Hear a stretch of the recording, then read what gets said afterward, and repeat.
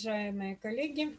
Сегодня мы поговорим об э, основной такой важной теме, которой очень часто мы встречаемся, это перистомальное осложнение. А, как вообще пациент наш получает э, средства реабилитации, это те самые расходные материалы, мы с вами э, должны как бы в принципе понимать, откуда это все идет, наше осложнение. Значит, пациент имеет определенную симптоматику, попадает в хирургическое отделение, как правило, это по экстренной. Его прооперировали, четвертый-пятый день, э, как правило, выписывают и отправляют в кабинет стомированных пациентов. Но вся проблема в том, что отдельных таких специалистов не везде есть, не в каждом регионе, и, как правило, за это отвечают уже хирурги, хирургический кабинет – и насколько вот компетентен специалист в этой области, настолько у нас и будут э, осложнения или не будет. Потому что все зависит от того, что он выпишет, индивидуально подберет для этого пациента. Дальше он заполняет эту карту, она идет в клинико-экспертную комиссию. Дальше там врачи решают, да, проблема есть, э, доктору виднее, что нужно – они коллегиально все это решают и передают медико-социальную комиссию. Там, в общем-то, подтверждение никакое не нужно, просто делится фонд социального страхования и компания-дистрибьютор. Компания-дистрибьютор привозит все, что там было заказано именно э, тем самым специалистом, у которого эта карта заполнялась, и пациент это получает. Получил ли он в полном объеме, но, может быть, он недостаточно получил информации, как за этим ухаживать. Или он не получил в полном, в полном объеме, автоматически ему, как говорится, заполнили карту, и он выживает дальше уже как может. Жизнь, конечно, сама по себе со стомой – это испытание для любого человека, эмоциональное, это чувство безысходности, стыда, обиды, брезгливости к собственному телу. И основная задача это, конечно, специалистов объяснить, рассказать, как это работает и обеспечить теми необходимыми средствами, которым в общем-то, обеспечение берет на себя государство. Ну, вот так выглядит идеальная стома, которая, в общем-то, все хорошо, без всяких э, нареканий пациенту хорошо и нам хорошо, значит, мы все правильно с вами выполнили. Но, однако, в России осложнения идут до 60% у пациентов. То есть эти осложнения, конечно, они отрицательно влияют на качество жизни пациента, на уход – ну и на все остальное. Вот посмотрите, в месяц обращений через интернет с поиском кожные осложнения вокруг стом обращаются 132-300 так вот пациентов, ну или людей, которым необходимо это в месяц. Это такая вот э, информация, можно узнать по любому вопросу. Здесь течение месяца с адреса, не сколько раз с одного адреса, а столько с, с одного адреса. То есть мы видим, насколько это актуальная тема. А почему она актуальна? Ну, если мы говорим о Всемирной организации здравоохранения, то считается, на тысячу людей приходится один стомированный пациент. По этой значит, формуле у нас что происходит? У нас в России должно составлять такое количество людей от 100 до 120 тысяч. В, России в целом статистики нет. Однако зарегистрированное и бесплатное обеспечение техническими средствами, те самыми необходимыми, получают только 40 тысяч стомированных пациентов. И они же инвалиды. Где 80 тысяч остальных пациентов? А эти 80 тысяч, они, во-первых, э, не получают их бесплатно, достают, э, сами покупают – это связано с тем, что нет правильного направления у этого пациента. Он не имеет также группу инвалидности. Процентное разделение вот с этих 40 тысяч, это 80% колостомы, 11% это эластомы, это те самые стомы, которые э, остро нуждаются в качественном уходе, иначе у них очень быстро развивается осложнение, и 9% уростомы. А, почему-то многие доктора считают, что у Ростома не надо ничего оформлять, и все эти средства не так уж сложно это купить. Хотя, вы видите, всего 9%, на самом деле мы знаем, что таких пациентов достаточно большое количество. Это говорит о том, что мы неправильно используем эти ресурсы. И вот такие, в результате вот этого, то, что у них нет этих средств, они не знают, как именно средствами работать, и вот так вот в таком виде поступают пациенты. Можно ли говорить тут о качестве жизни? Конечно, нет. Э, об этом даже мы не можем и думать. Итак, какие они перистомальные осложнения, э, наиболее часто встречающиеся? Это аллергическая реакция на клеевую основу, это мацерация, это грибковые инфекции, это инфицирование кожи и так далее. Мы сейчас попробуем разобрать эти варианты. Основная причина из-за чего? То есть происходит вот здесь вот небольшая утечка под э, сам колоприемник, под клеевую основу. Каловая масса – это агрессивная среда, естественно, здесь она разъедает кожные покровы, пластина отстает, и когда мы снимаем – мы уже имеем большие изменения на коже. Конечно, мы уже об этом проговорили. Делает жизнь пациента невыносимо. И, конечно, адаптации к этому быть не может. Ограничения в жизни человека достаточно высокие, и качества тоже нет. Значит, итак, перистомальные осложнения, что они? Они прежде всего затрудняют уход за стомой. На такую стому наклеивать вновь колоприемник – это очень болезненно, жжение, боль. И, в общем-то, такие достаточно большие агрессивные психозы из-за этого возникают. А хотя это можно все достаточно просто консервативное лечение – подобрать и дальше выбрать правильные средства реабилитации. Но для этого нам нужны дополнительные средства ухода и самое главное, индивидуальный подбор колоприемников, а не так автоматически, как у нас это происходит. Все получи, вот на какие там есть и получите. Итак, основной с первое это что мы встречаемся, это эритема, это э, ограниченное или разлитое покраснение кожи, возникающее при воздействии различных факторов. Какие здесь факторы? Ну, здесь факторы клеевая основа, когда достаточно хорошо зафиксирована и отдирается колоприемник вместе с э, верхним эпидермисом, и отсюда присоединяется инфекция. И плюс возможность подтекания того же колоприемника. И очень быстрое раздражение и болевой синдром идет. Здесь мы очень быстро можем справиться с вами. Самое главное, что мы таких пациентов, когда появляются какие-либо осложнения, мы сразу переводим с однокомпонентного колоприемника на двухкомпонентный. Тогда у нас пластина будет меняться раз в 4-5 дней, а меняется только сам колоприемник. Итак, пациент принимает душ или промываем водой, если пациент у нас лежачий, то подсушивается, дает возможность, как говорят, погулять на воздухе. Дальше мы используем специально в коллекции стоит э, в любых средствах, любой линейке, они имеются, эти средства. Это, это вот мы говорим сейчас о стомагезиве. Прекрасно припудриваем, припудриваем эту поверхность э, воспаленную. И дальше мы можем э, заклеивать колоприемник. Значит, этот порошок дает возможность снять воспаление, прежде всего, снимает зуд, снимает жжение.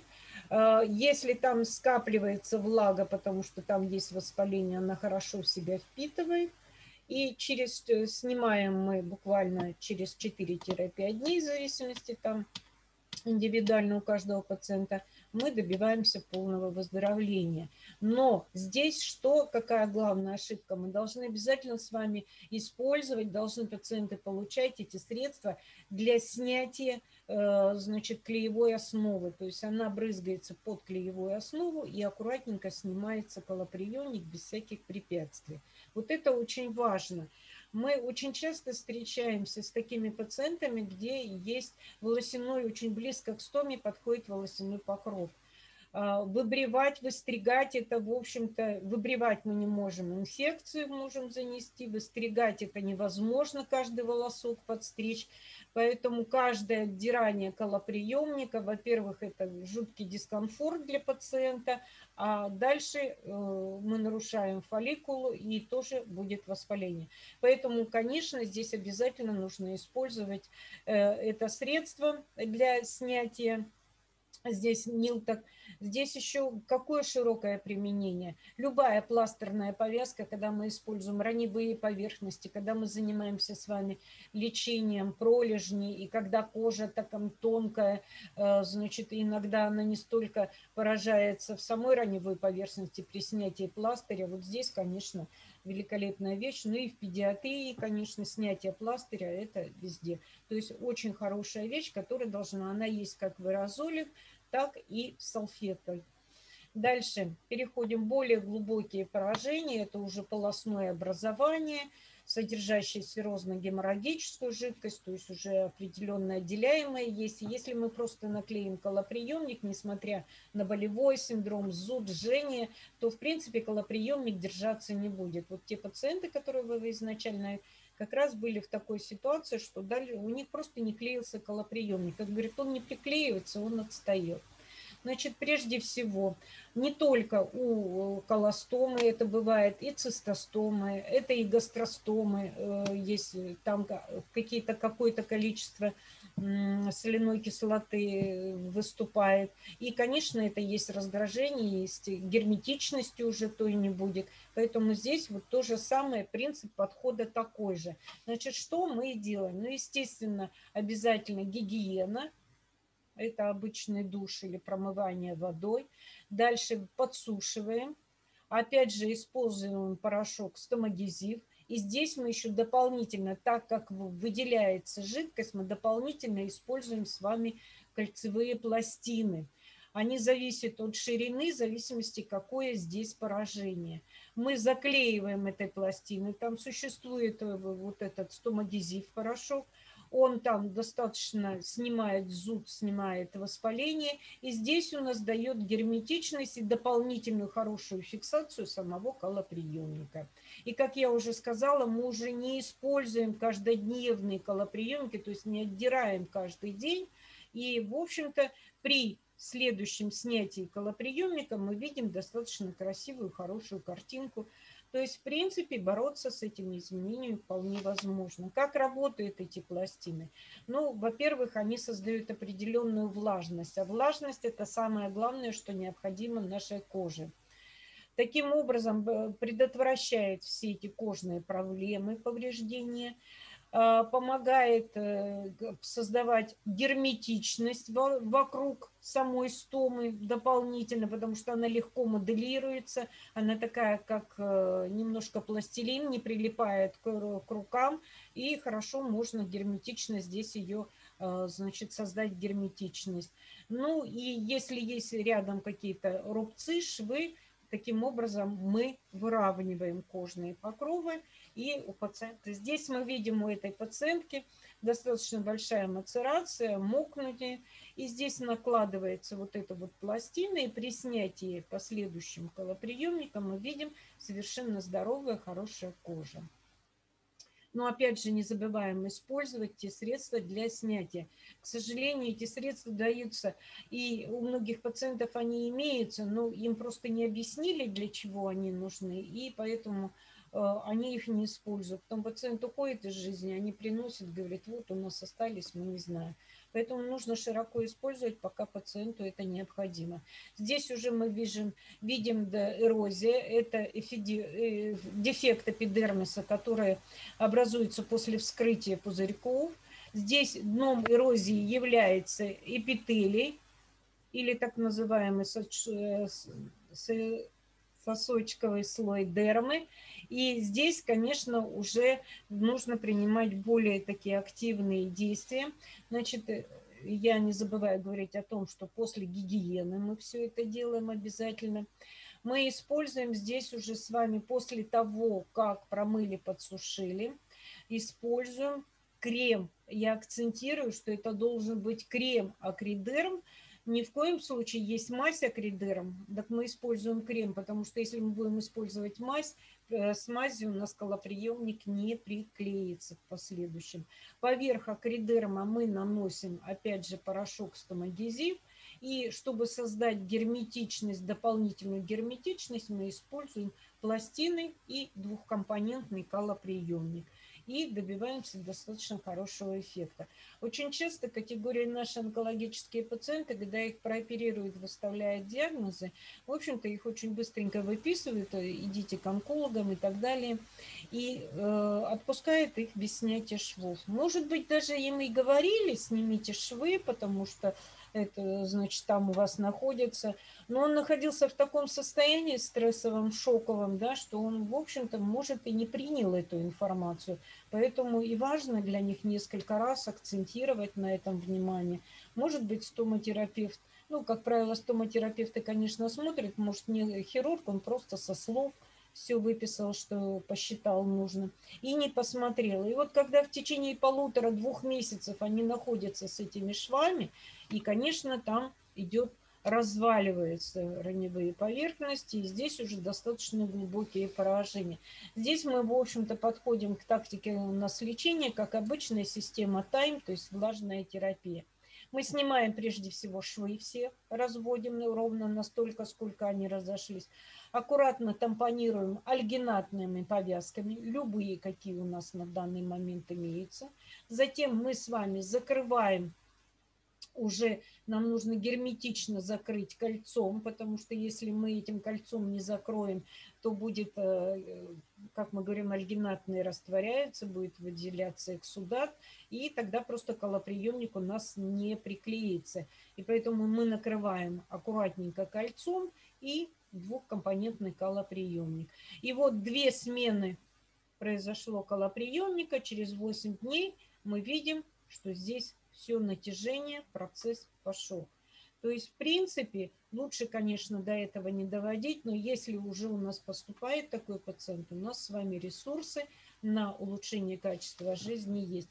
Мы должны с вами запомнить раз и навсегда стома, э, раневые поверхности, они все совершенно одинаковые мы уже отходим от старой методики и уже применяем систему Time, и э, то система Time совершенно не приемлет спиртосодержащие, агрессивные, красящие вещества. И то же самое относится в этом случае, здесь то же самое.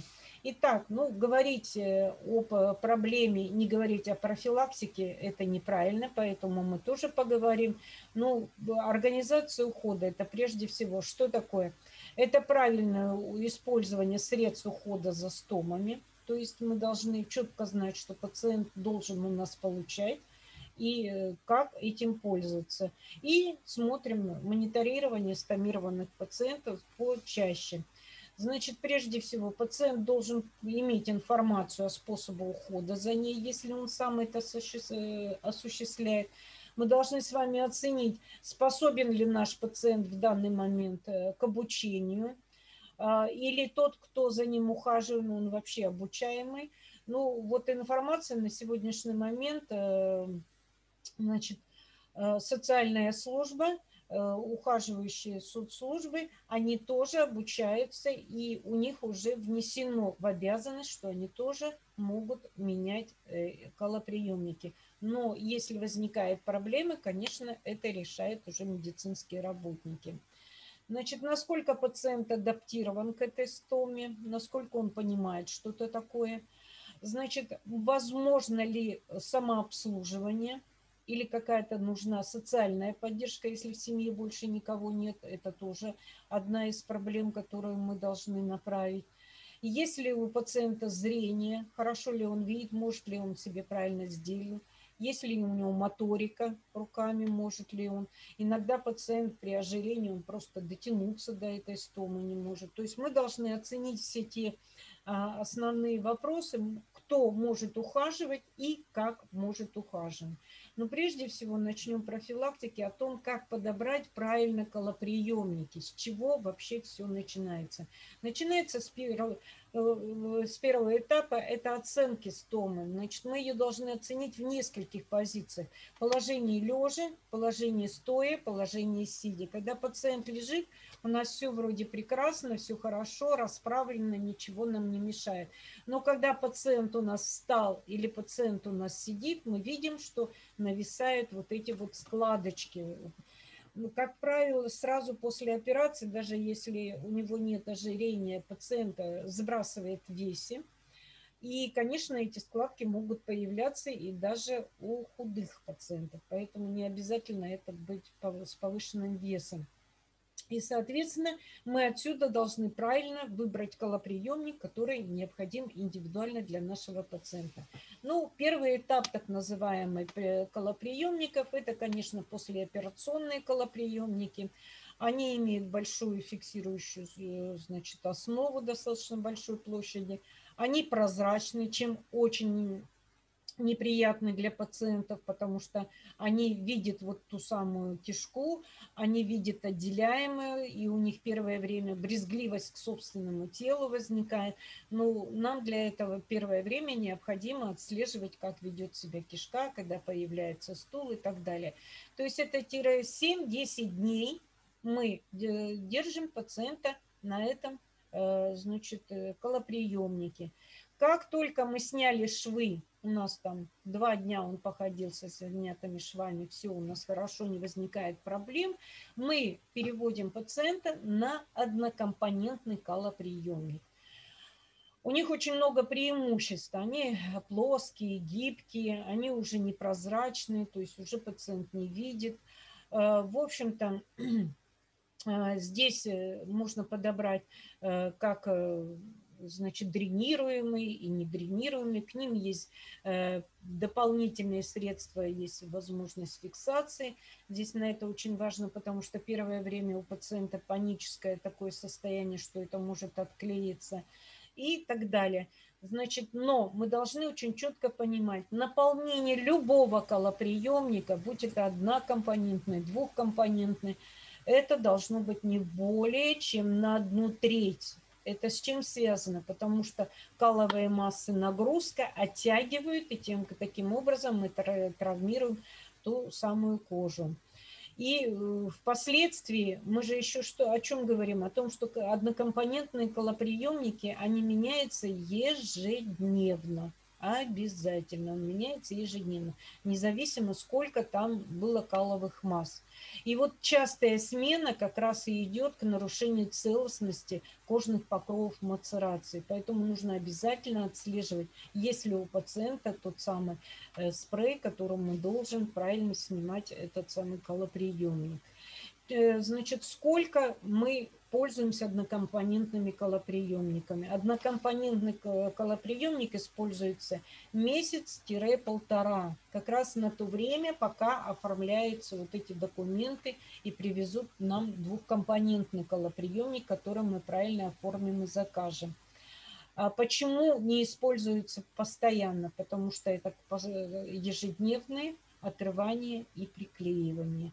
Значит, к сожалению, у нас другой менталитет, как назначили этот э, однокомпонентный, так и дальше. А качество жизни от этого, конечно, наших пациентов страдает, и плюс поэтому высокий процент осложнений у нас. Двухкомпонентные системы, сейчас мы с ней поговорим о них, значит, они состоят из пластины и самого мешка. Здесь сейчас широчайший диапазон этих пластин, то есть подобрать можно под любого пациента. Здесь есть и полные пластины, э, которые, э, значит, гидроколлоидная основа этих пластин, они потяжелее, и поэтому не всем подходят. Есть облегченные, то есть здесь гидроколлоидная основа вокруг самой стомы, а здесь э, дышащий пластырь. Дальше есть с фланцевым креплением, есть без фланцевой стыковки – дальше есть с вырезаемым отверстием, с моделируемым э, устьем. Есть выпуклые, так называемые, плоские и конвексные. Это как раз зависит вот этот широкий диапазон о посмотре своей стомы, как она выглядит и что нам необходимо для этого пациента. вот мы здесь видим пластины, вот это вот фланцевая стыковка плюс фланцевая стыковка мешка. И, в принципе, они состыковываются, вроде как все хорошо. Это меняется раз в 4-5 дней, здесь меняется ежедневно. Но здесь чем э, всегда возникает проблема. Очень многие медицинский персонал говорит, они очень неудобны, приходится сильно давить на живот пациенту, потому что вот это вот щелчка не получается, нужно продавить. Это нарушение технологии наложения. Значит, конечно, будет тяжело продавить эту самую, э, сам этот фланец, он жесткий. Дело в том, что перед тем, как мы начинаем его пристыковывать, мы должны согреть вот этот вот мешок, вот это вот кольцо. Он, оно должно нагреться для того, чтобы оно мягко, легко закрылось и впоследствии было герметично. Мы можем разными способами согреть это кольцо. Мы можем просто перед началом манипуляции подложить под пациента, он собственным телом разогреет. Мы можем там разогреть там есть в некоторых отделениях маленькие такие фены на батарейках, они могут подогреть его чуть-чуть. То есть достаточно легко подогреть, и он легко закроется, и не будет вот этого щелчка, не нужно будет совершенно давление. Мы, женщины, знаем, когда консервируем, крышку разогрели, она легко закрылась, потом она э, герметично находится. Здесь тот же самый принцип. Поэтому это делать обязательно необходимо для того, чтобы не возникало никаких проблем. Дальше, когда мы с вами видим о том, что вот здесь вот у нас вот эта вот э, складка нависает, значит, вот это фланцевое кольцо, оно на эту складку будет давить, и пациент может только в положении лежа у нас находиться. Поэтому здесь используются, э, значит, пластины без фланцевой стыковки. Вот это вот основа клеевая, здесь снимается, значит, вот эта вот пленочка, и герметично клеится. Детские э, колоприемники, они все без фланцевой стыковки. Поэтому здесь, конечно, великолепная помощь нашим пациентам. Здесь им будет замечательно комфортно. В результате послеоперационного периода возникают такие процессы, когда у нас вдруг стома втянулась. Да? Вот этот вот месяц нам и дается, когда мы первый месяц используем однокомпонентный, наблюдать, как выглядит стома, чтобы как раз мы в этот период и могли заказать, что необходимо. Если после операции она подтянулась, ушла туда глубоко, то здесь создать герметичность будет очень сложно. И поэтому для этого используются так называемые конвексные, выпуклые пластины, которые, когда мы с вами э, приклеиваем ее, поджимаем к брюшной полости, и чуть-чуть, соответственно, выдавливается этот край кишки. Даже если он не выдавливается, а находится вот здесь полностью, мы уже все равно создали с вами ту самую герметичность, которая необходима для этого пациента. А, вот мы здесь видим, э, мало того, что здесь существует складка у этого пациента, здесь она еще и относительно втянутая стома. И плюс у нас, ввиду того, что не использовались те средства необходимые, здесь мы имеем осложнение. Поэтому, естественно, таким пациентам накладывается стома только в положении лежа расправленном. А, соответственно, мы после гигиены накладываем кольцо, чтобы оно приподняло эту кишку, выровняло. И затем используем вот эти вот, а, значит, бесфланцевые со стыковкой э, пластины и, э, соответственно, мешок. А, так называемые моделируемые или пластичные пластины, они очень э, важны для нас, потому что очень часто бывает э, кишка асимметричной, и именно четко обрисовать этот контур, подобрать достаточно сложно. А если у нас там расхождение 1 миллиметр, здесь уже будет подтекание. А, это пациенты, у которых э, нарушена моторика, он не может вырезать э, по каким-то нарушениям зрения. Мы используем вот эти вот пластинчатые, э, пластичные пластины. Значит, они пальчиками раздвигаются, затем она наклеивается и распускается вот этот вот валик, и он очень плотно облегает кишку отекает кишка, жарко отекает, она становится, растягивается холодно, кишка маленько спазмируется, и, соответственно, тоже этот валик э, герметично придерживается. Он еще называется черепашья шея.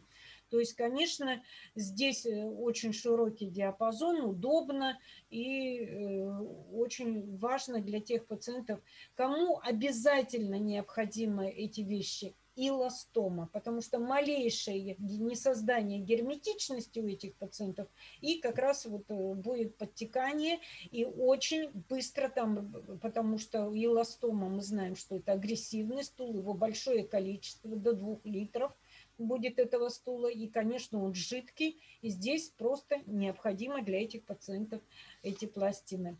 Ну и один из расходников, который тоже очень важен для наших пациентов, они как бы называются нейтрализаторы запаха, но нейтрали, как нейтрализатор на моем опыте я бы его поставила на третье место. Первое место – это, конечно, э, от раздувания, когда повышенное газообразование у пациента.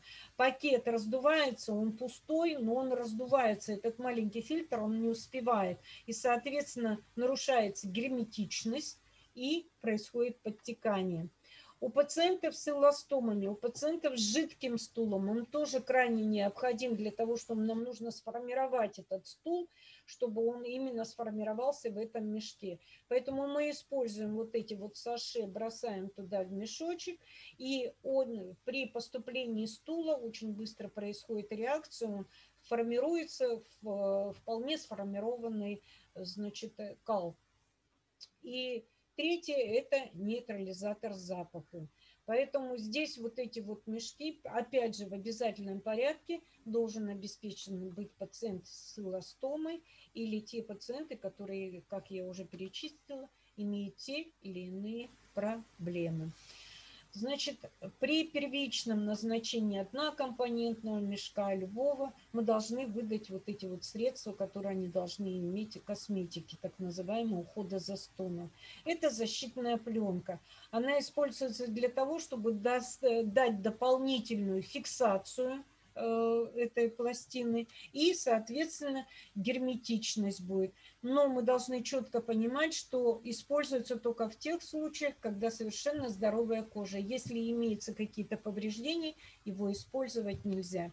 И средство перистомальное для выравнивания кожи тоже, если у нас нет этих колец, имеет место быть, мы должны просто знать, как они накладываются. Вот ошибка номер один накладывается вокруг стомы, и мы прижимаем мешок, и эта клеевая основа вылазит сюда. Если мы наносим вокруг мешка жирным таким слоем, тоже приклеивая выступит, значит на расстоянии 1,05-1 сантиметр должно быть, и тоненьким слоем мы наносим. Тогда здесь будет создана герметичность. Значит, здесь что хотелось бы мне сакцентировать внимание, что согласно вот этого приказа все пациенты, имеющие стомы, обеспечиваются теми средствами, которые ему необходимы.